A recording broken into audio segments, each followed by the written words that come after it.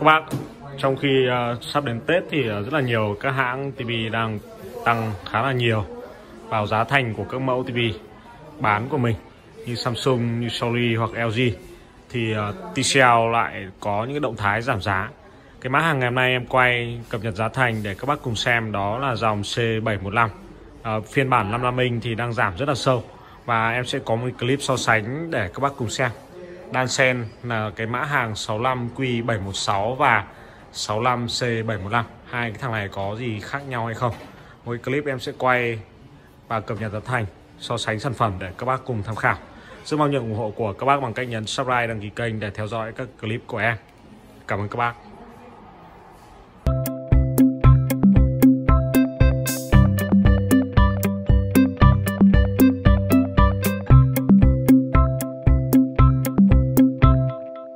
Ờ, ngày hôm nay là ngày 13 âm Tức là còn khoảng 17 ngày nữa thôi Là Tết Tân Sửu 2021 à, ờ, Một loạt các mẫu TV vừa mới được tăng giá Như các dòng TU 7000 TU 8001 TU 8500 Dòng của Samsung đang giảm à, Đang tăng Tăng vài trăm nghìn. Như mẫu 55 TU 7000 à, Từ 10 triệu 990 Nó đang tăng khoảng 2-300 nghìn Lên khoảng 11 triệu 2 và 55 TU 8500 cũng tăng khoảng 2 300 nghìn lên 13 triệu rồi. Còn hãng TCL à, một cái sản phẩm em quay khá là nhiều và có cái động thái giảm giá đó là con 55 C715 con này đang giảm rất là sâu từ 13 triệu 500 nó giảm về còn khoảng 12 triệu 990 nghìn thôi giảm đến 500 nghìn với cái mẫu C715 cái vấn đề tăng giảm à, của các hãng thì nó sẽ phụ thuộc vào rất là nhiều cái hàng hóa à, tồn. Tức là họ có chủ động được hàng bán trong những cái dịp à, bán nhiều như lễ Tết hay không. Thì à, đối với TCL bảo hành 35 họ có nhà máy tại Bình Dương sản xuất ừ, TV và xuất khẩu đi bán đi toàn châu Á nên các bác hoàn toàn yên tâm về cái số lượng cũng như là cái chất lượng của cái sản phẩm này. À, 55C715 giảm 500 còn 12990 con này thì là dòng Android TV có sử dụng màn hình QLED. Màn hình QLED là màn hình chấm lượng tử ờ, hiển thị 100% giải màu và hơn hết thì nó sở hữu thiết kế tràn viền ba cạnh, có Android 9.0, có hình ảnh cũng như cái âm thanh vô cùng đặc sắc và sắc nét. Con này thì cũng tích hợp thêm cả tính năng Hand Free Voice Control, tìm kiếm giọng nói rảnh tay. Các bác đứng trước TV, các bác thao tác với cả chơi ảo của Google trên TV không cần cầm điều khiển Đấy, không cần cầm điều khiển là các bác có thể tìm kiếm ở trên YouTube rồi. Rất là dễ dàng. À, đây là cái đoạn demo trên con C715 hình ảnh trong à, chi tiết ừ, thể hiện trên video cũng vô cùng sắc nét và chân thực. À, đây là cái sản phẩm QLED có chế độ bảo hành 1 đổi 1 trong vòng 1 năm của TCL luôn. Bảo hành 3 năm tại nhà nhưng lỗi 1 đổi 1 trong 1 năm.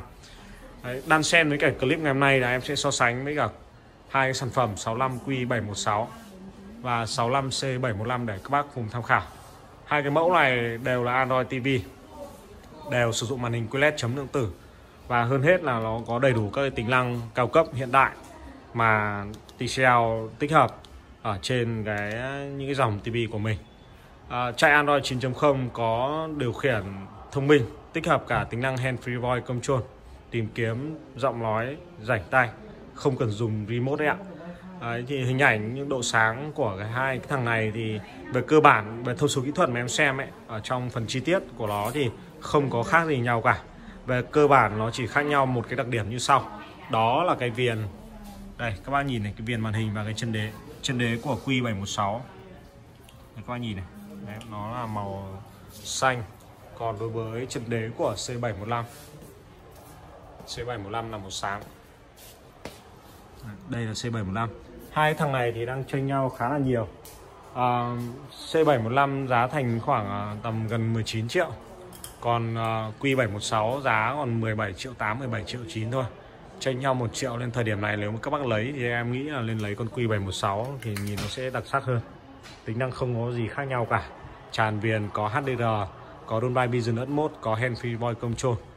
Đấy, màn hình quan tâm đốt màn hình QLED đấy ạ. Đấy, thì trong à, cái quá trình các bác mua tham khảo trong thời gian này thì các bác có thể là gọi điện về hotline hoặc để lại bình luận thì BM sẽ hỗ trợ các bác mua hàng. 65Q716 và 65C715 các bác nhé. Cảm ơn các bác